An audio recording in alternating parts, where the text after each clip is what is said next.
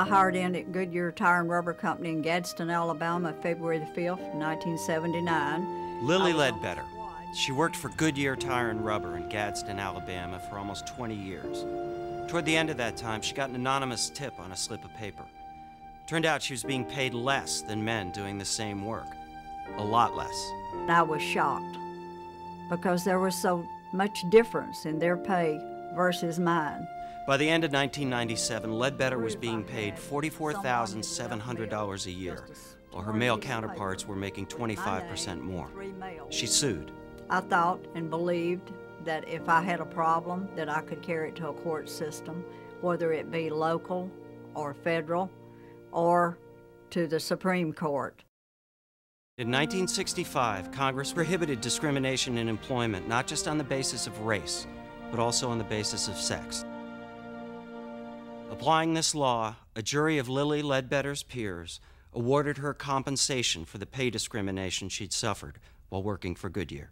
The jury had understood what we were telling them. They saw the proof, and there was no doubt. Who could disagree? The Goodyear Company. It appealed the decision, arguing that the law said that such cases must be brought within 180 days.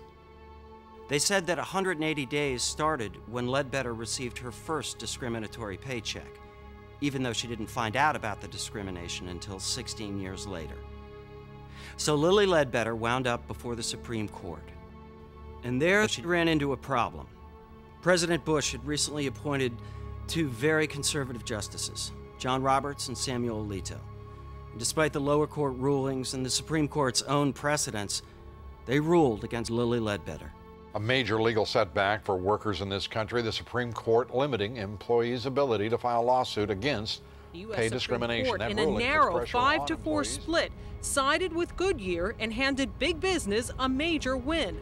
But Justice Ruth Justice Bader Ruth Bader Ginsburg took exception to the majority's decision. She quoted the Supreme Court's own precedent, which said that each discriminatory paycheck is illegal, not just the first one. Besides, she said the decision was unrealistic. Goodyear prohibited all its employees, including Ledbetter, from discussing their pay. She'd had no way of learning the truth until long after the discrimination had begun. Ginsburg concluded this court does not comprehend or it is indifferent to the insidious way in which women can be victims of pay discrimination. She was exactly right, and I knew that she knew where I had been and how hard it is, and I felt like that she had been mistreated through the years as well. But both Alito and Roberts were well coached for their confirmation hearings. I do. They pledged to be open minded, fair, and to respect precedent. I need to decide those questions with an open mind on the basis of the arguments presented, on the basis of the record presented in the case, and on the basis of the rule of law, including the precedents of the court. And the presumption is that the court will follow its prior precedents.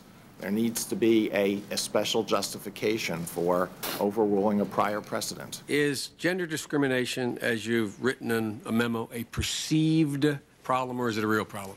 Of course, gender discrimination is a serious problem. It's a particular concern uh, of mine. Those justices had no idea what it was like in the real world, working in a factory, trying to scrounge out a living, and to be a female at that. John Roberts is the youngest Chief Justice in 200 years. Samuel Alito is just a few years older. They could be making decisions for decades to come. But that must not stop us from doing whatever we can to protect liberty and to seek justice. Unfortunately, most people don't realize that what the Supreme Court decides affects their lives on a daily basis. For women, whether or not there'll be access to safe legal abortion depends on who the justices of the court are. For the millions of people who are victims of discrimination, well, whether there's going to be a remedy depends on who the court is. For people who have a loved one who's a defendant in the criminal justice system, whether there's really going to be a fair system under the Constitution depends on who the justices are. And I think we need to do a much better job before the 2008 election of showing people that one of the most important, maybe the most important thing the next president is going to do is determine whether we'll have justices and judges who will enforce the Constitution. This is not just about politics or some abstract issue of the law. This is about justice. This is about human beings, like Lilly Ledbetter, a woman who has worked hard and honestly all her life. Not famous people, but Americans, entitled to justice. Fairness. Fairness.